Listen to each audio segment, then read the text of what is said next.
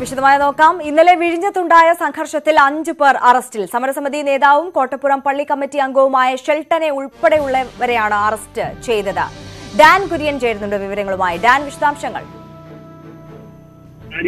ഇന്നലെ വിഴിഞ്ഞത്തുണ്ടായ സംഘർഷങ്ങളുടെ പശ്ചാത്തലത്തിൽ പോലീസ് നടത്തിയ അന്വേഷണത്തിന്റെ ഭാഗമായി അഞ്ചു പേരെ അറസ്റ്റ് ചെയ്തിട്ടുണ്ട് എന്ന വിവരമാണ് നമുക്ക് ഏറ്റവും ഒടുവിലായി ലഭിക്കുന്നത്. ഇതിൽ ആദ്യം അറസ്റ്റിലായത് കോട്ടപ്പുറം പള്ളിയിലെ കമ്മിറ്റി അംഗവും ഒപ്പം തന്നെ സമരസമിതി നേതാവുമായ ഷെൽട്ടനാണ്.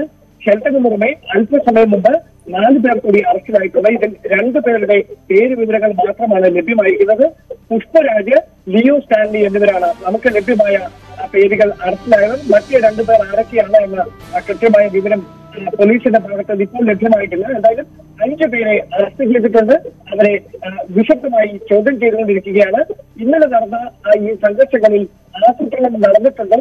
ആരൊക്കെയാണ് ഇതിന് പിന്നിൽ എന്നതടക്കമുള്ള വിശദമായ കാര്യങ്ങൾ ഇവരോട് ചോദിച്ചറിയേണ്ടതുണ്ട്. ഒപ്പം തന്നെ ഏറ്റവും പ്രധാനപ്പെട്ട കാര്യം പോലീസിന്റെ കൃത്യനിർവഹണം തടസ്സപ്പെടുത്തിയതടക്കം ഗുരുതരമായ വകുപ്പുകൾ ചുമത്തിക്കൊണ്ടാണ് പത്ത് കേസുകൾ രജിസ്റ്റർ ചെയ്തിരിക്കുന്നത്. ഇതിൽ മൂന്ന് കേസുകളിൽ ഒന്നാം പ്രതിയായിട്ടുള്ളത് ലത്തീൻ അതിരൂപതയുടെ ബിഷപ്പായിട്ടിരിക്കുന്ന ഡോക്ടർ തോമസ് ജെ നെറ്റു തന്നെയാണ്. അതുകൊണ്ട് തന്നെ പോലീസ് ഇതുവരെ ഒരു സംയമനത്തോടെയായിരുന്നു വിഷയത്തെ നോക്കിക്കണ്ടിരുന്നെങ്കിലും ഇത് ക്രമസമാധാന നിലയെ ബാധിക്കുന്ന തരത്തിൽ ഒരു സംഘർഷത്തിലേക്ക് നീങ്ങുന്ന പശ്ചാത്തലത്തിലാണ് ഇന്നലെ നടന്ന സംഘർഷങ്ങൾക്ക് നേതൃത്വം നൽകിയവരെ അറസ്റ്റ് ചെയ്യുന്നതടക്കമുള്ള കർശനമായ നടപടികളിലേക്ക് പോലീസ് ഇപ്പോൾ കടന്നിരിക്കുന്നത്. ആര്യ. ഡാൻ പോലീസ് ഇത്തരത്തിൽ വളരെ ശക്തമായ നടപടിയിലേക്ക് കടക്കുമ്പോൾ ലത്തീൻ അതിരൂപത ആർച്ച് ആർച്ച് ബിഷപ്പിനെതിരെ അടക്കം കേസ് ചുമത്തിയിട്ടുണ്ട്. കൂടുതൽ അറസ്റ്റ് ഈ ഒരു വിഷയത്തിൽ ഉണ്ടാകുമെന്ന് പ്രതീക്ഷിക്കാമോ? തീർച്ചയായിട്ടും അന്വേഷണം ഇപ്പോഴും വ്യാപകമായി തന്നെ കർശനമായ പരിശോധനകൾ വിഴിഞ്ഞം കേന്ദ്രീകരിച്ചുകൊണ്ട് അങ്കിതങ്കും പൊഴിയൂരും ഒക്കെ കേന്ദ്രീകരിച്ചുകൊണ്ട് പുരോഗമിക്കുന്നുണ്ട്. അതുകൊണ്ട് തന്നെ കൂടുതൽ പേർ അറസ്റ്റിലായേക്കുമെന്ന സൂചനകൾ ഈ ഷെൽട്ടനെ അറസ്റ്റിലായപ്പോൾ തന്നെ ലഭ്യമായിരുന്നു. അങ്ങനെയാണെങ്കിൽ രാത്രിയിലടക്കം വ്യാപകമായ തെരച്ചിൽ നടത്താനുള്ള പദ്ധതിയാണ് പോലീസ് തയ്യാറാക്കിയിരിക്കുന്നത്. കാരണം നിലവിൽ ഒരു സംഘർഷ സാധ്യത അവിടെ നിലനിൽക്കുന്നുണ്ട്. അതുകൊണ്ട് തന്നെ ഇന്നലെ രാത്രി മുതൽ തിരുവനന്തപുരത്തിന് സമീപത്തുള്ള ജില്ലകളിൽ നിന്നുകൂടി പോലീസ് സേനകളോട് സജ്ജരായിരിക്കാനും അടിയന്തര സാഹചര്യം വന്നാൽ നേരിടാൻ തലസ്ഥാനത്തേക്ക് എത്തണമെന്ന കർശനമായ നിർദ്ദേശം പോലീസ് ആസ്ഥാനത്ത് മറ്റ് ജില്ലാ പോലീസ് മേധാവിമാർക്ക് നൽകിയിട്ടുമുണ്ട്. അതുകൊണ്ട് തന്നെ പോലീസ് അവരുടെ നടപടി കൂടുതൽ ജാഗ്രതയോടെ തുടരുകയാണ്. ഈ ഒരു പശ്ചാത്തലത്തിലേക്ക് അവരെ നയിക്കുന്ന പ്രധാനപ്പെട്ട കാര്യം വരുന്ന ബുധനാഴ്ച ഹൈക്കോടതി ഈ കേസ് വീണ്ടും പരിഗണിക്കുകയാണ്. അന്ന് ഇത്തരത്തിൽ തുറമുഖ നിർമ്മാണം അരിച്ചത്തിൽ മുമ്പോട്ട് പോയാൽ അത് സംസ്ഥാനത്തിന്റെ സാമ്പത്തിക നേട്ടങ്ങൾക്ക് വെല്ലുവിളിയാകും. അതുകൊണ്ട് തന്നെ അടിയന്തരമായി തുറമുഖ നിർമ്മാണം പുനരാരംഭിക്കുന്നതിന് വേണ്ടിയിട്ടുള്ള സൗകര്യം ഒരുക്കി കൊടുക്കണം സുരക്ഷ ഒരുക്കി കൊടുക്കണമെന്ന് സംസ്ഥാന സർക്കാരിനോട് ഹൈക്കോടതി തന്നെ നേരത്തെ വാക്കുകൾ ഉൾപ്പെടെ നിർദ്ദേശിച്ചിരുന്നു. പക്ഷേ അത്തരത്തിൽ ഇന്നലെ അവിടെ എത്തിയപ്പോഴാണ് അപ്രതീക്ഷിതമായി ഈ പ്രതിഷേധക്കാരുടെ ഭാഗത്ത് നിന്ന് ഈ അക്രമങ്ങൾ അരങ്ങേറിയത് ആര്യ. ശരി ഡാൻ കുര്യനാണ് ആ വിവരങ്ങൾ നൽകിയത്. വിഴിഞ്ഞം സംഘർഷത്തിൽ ലത്തീൻ അതിരൂപത archbishop doctor Thomas J Netto ഒന്നാം പ്രതി. സഹായമെത്രാൻ ഡോക്ടർ ആർ ക്രിസ്തുദാസ് ഉൾപ്പെടെ അൻപതോളം വൈദികർ പ്രതിപ്പട്ടികയിലുണ്ട്.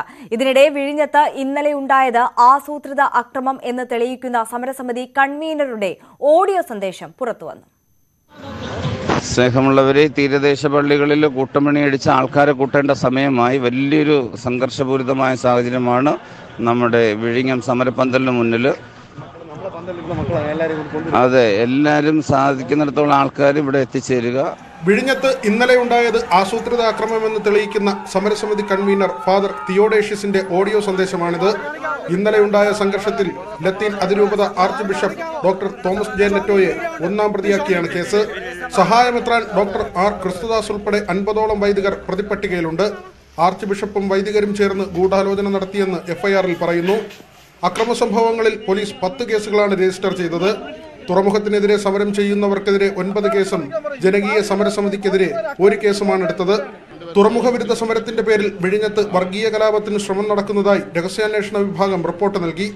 സംഘർഷത്തിൽ ഗർഭിണിയായ യുവതിക്ക് നേരെ കയ്യേറ്റ ശ്രമമുണ്ടായത് ആസൂത്രിത നീക്കത്തിന്റെ ഭാഗമെന്നും റിപ്പോർട്ടിലുണ്ട്. ഞാൻ പ്രഗ്നന്റ് ആണ്. എന്റെ ദേഹത്തോട്ടാ. അച്ഛാ. അച്ഛാ.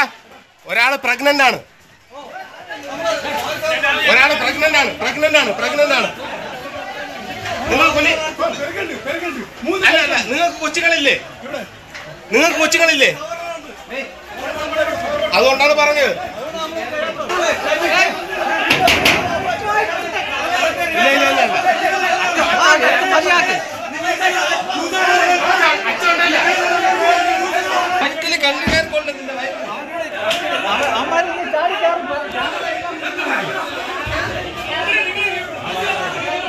വിഴിഞ്ഞത്ത് തുറമുഖ വിരുദ്ധ സമരസമിതി നടത്തിയ അക്രമത്തിന്റെ ദൃശ്യങ്ങൾ ന്യൂസ് എയ്റ്റീന് ലഭിച്ചു.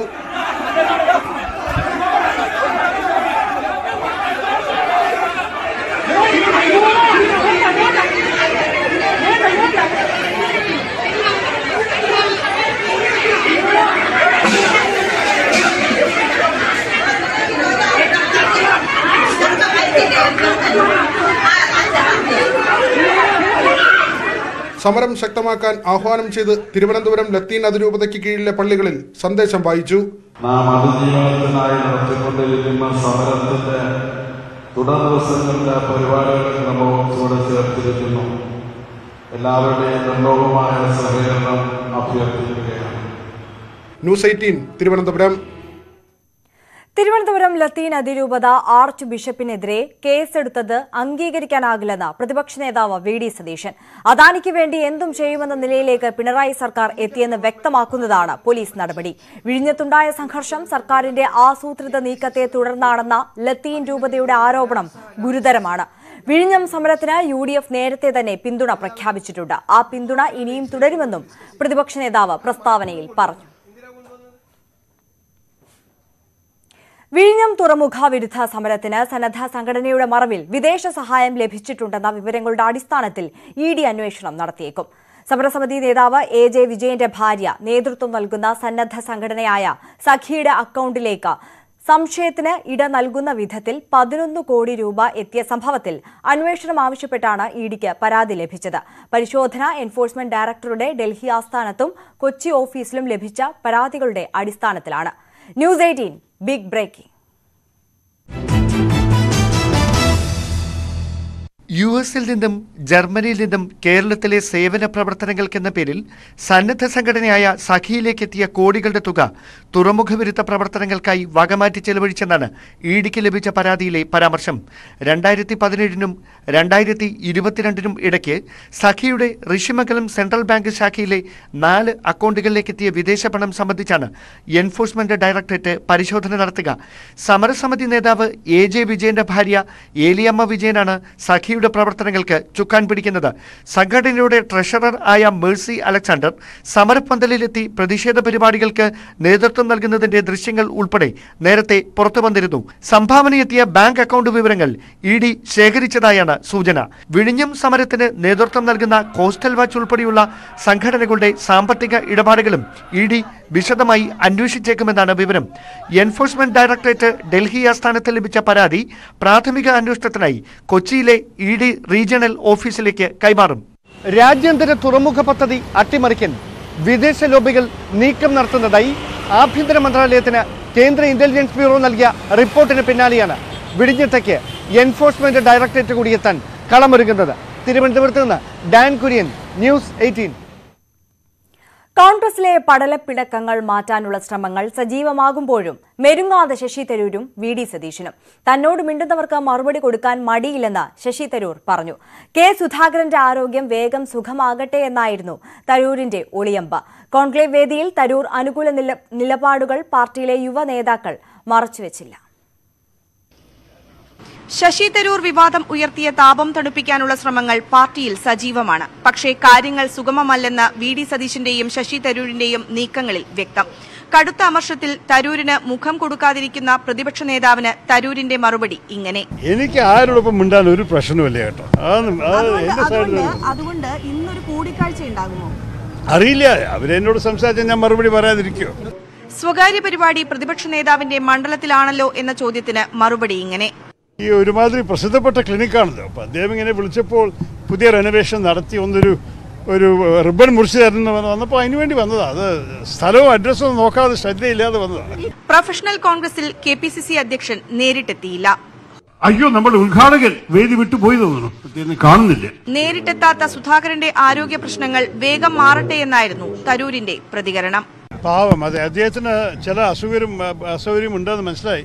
അദ്ദേഹത്തിന് ആരോഗ്യമൊക്കെ നന്നാവട്ടെയാണ് നമ്മൾ എല്ലാവരെയും പ്രാർത്ഥന. കോൺക്ലേവ് വേദിയിൽ തരൂരിനെ പുകഴ്ത്തി യുവനേതാക്കൾ രംഗത്തെത്തിയതും ശ്രദ്ധേയമായി. പാർട്ടി പ്രവർത്തകരാണ് പാർട്ടിക്ക് പ്രതിരോധം തീർക്കുന്നത്.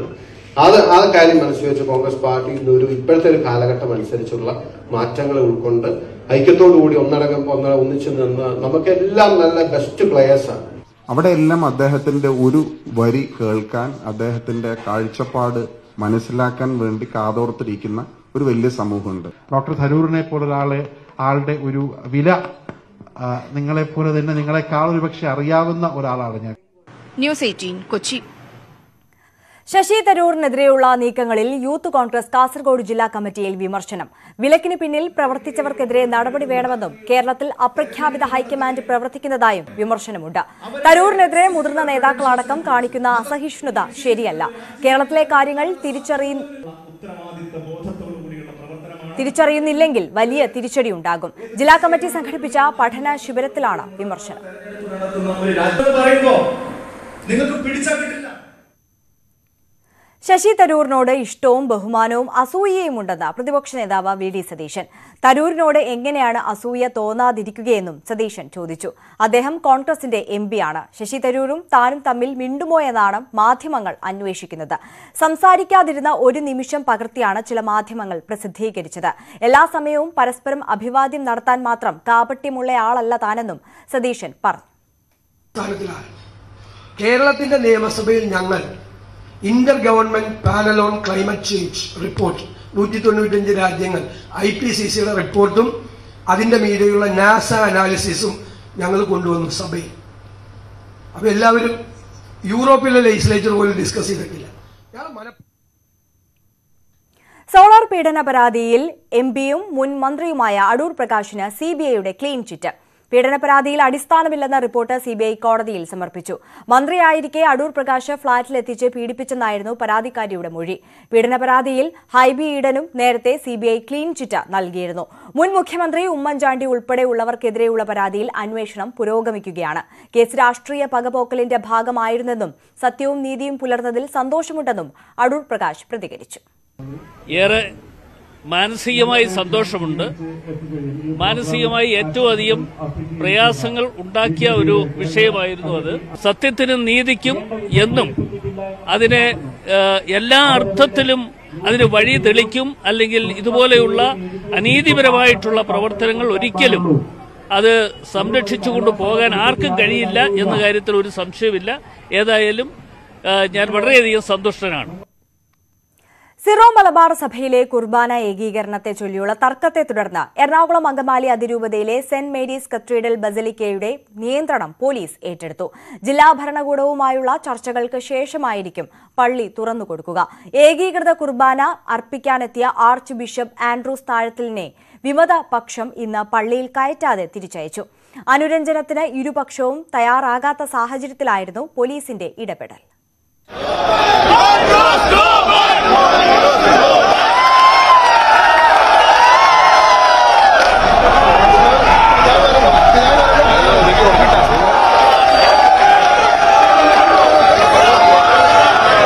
രാവിലെ ആറു മണിക്കാണ് ആർച്ച് ബിഷപ്പ് ആൻഡ്രൂസ് താഴത്തിന്റെ ഏകീകൃത ക്രമത്തിലുള്ള കുർബാന സെന്റ് മേരീസ് കത്തീഡ്രൽ ബസിലിക്കയിൽ നിശ്ചയിച്ചിരുന്നത് എന്നാൽ മണിക്കൂറുകൾക്ക് മുൻപേ ബസിലിക്കയ്ക്ക് അകത്തെത്തിയ വിമതപക്ഷം ഏകീകൃത കുർബാന ചൊല്ലാൻ ബിഷപ്പിനെ അനുവദിക്കില്ലെന്ന നിലപാടെടുത്ത് അകത്തുനിന്ന് ഗേറ്റ് പൂട്ടി.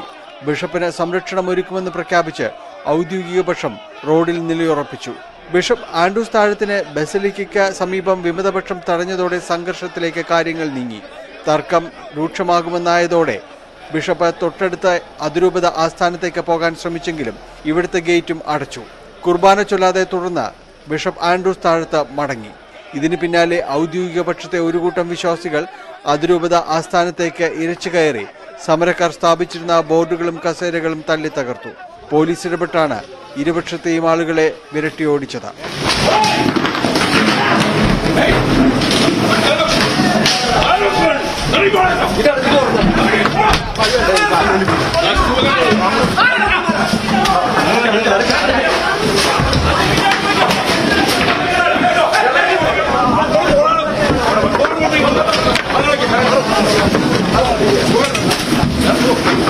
ആവശ്യം നാശനഷ്ടപ്പെടുത്തിയ അടി അടിമടി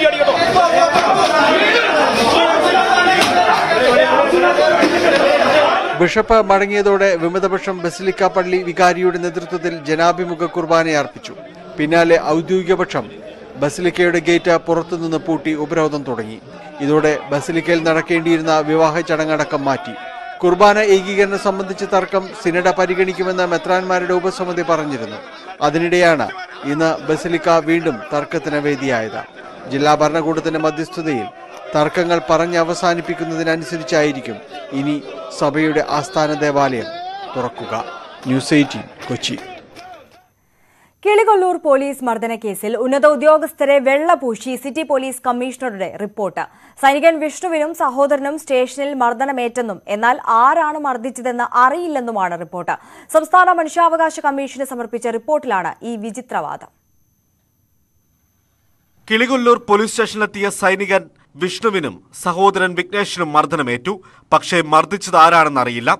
സ്റ്റേഷനുള്ളിൽ ഇരുവരെയും മർദ്ദിക്കുന്നത് ആരും കണ്ടിട്ടുമില്ല. ഇത്തരം വിചിത്രവാദങ്ങൾ കുത്തിനിറച്ചുള്ള റിപ്പോർട്ടാണ് കൊല്ലം സിറ്റി പോലീസ് കമ്മീഷണർ മനുഷ്യാവകാശ കമ്മീഷന് സമർപ്പിച്ചത്. പതിനൊന്ന് പേജുള്ള റിപ്പോർട്ട് പോലീസിനെ രക്ഷിക്കാൻ വേണ്ടി തയ്യാറാക്കിയതെന്ന് വ്യക്തം.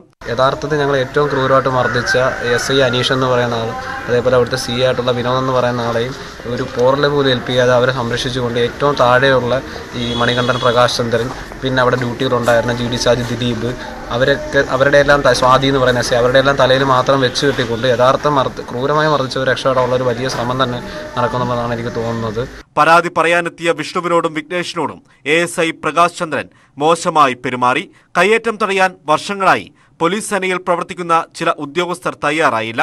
ഇത്തരത്തിൽ തെറ്റായ സമീപനം സ്വീകരിച്ചവർക്കെതിരെ വകുപ്പ് തല നടപടി വേണമെന്നും റിപ്പോർട്ടിലുണ്ട്. സൈനികനെയും സഹോദരനെയും സി ഐയും എസ് ഐയും മർദ്ദിച്ചെന്ന് അന്വേഷണ ഉദ്യോഗസ്ഥയായ എസ് ഐ സ്വാതി മജിസ്ട്രേറ്റിന് മൊഴി നൽകിയിരുന്നു. ഈ മൊഴി പോലും അവഗണിച്ചാണ് സിറ്റി പോലീസ് കമ്മീഷണറുടെ report. News eighteen Kollam.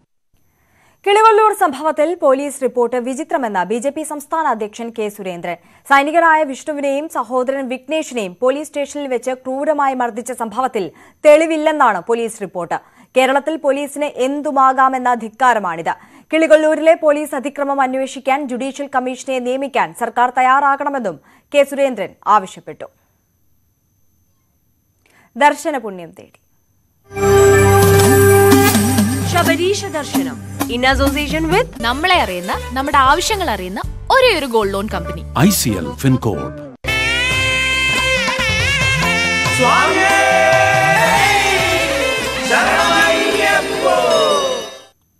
അവധി ദിവസമായ ഇന്ന് സന്നിധാനത്ത് ഭക്തജന തിരക്ക്. ദർശനത്തിനും നെയ് അഭിഷേകത്തിനുമായി മണിക്കൂറുകളാണ് ഭക്തർ കാത്തുനിൽക്കുന്നത് അറുപത്തി മൂവായിരത്തി ഒരുന്നൂറ്റി മുപ്പത് തീർത്ഥാടകരാണ് വെർച്വൽ ക്യൂ വഴി ദർശനത്തിനായി ഇന്ന് ബുക്ക് ചെയ്തിട്ടുള്ളത്. വാർത്തകൾ അവസാനിക്കുന്നില്ല. വാർത്തകൾ ഇടവേളകളില്ലാതെ ന്യൂസ് എയ്റ്റീൻ യൂട്യൂബ് ചാനലിൽ.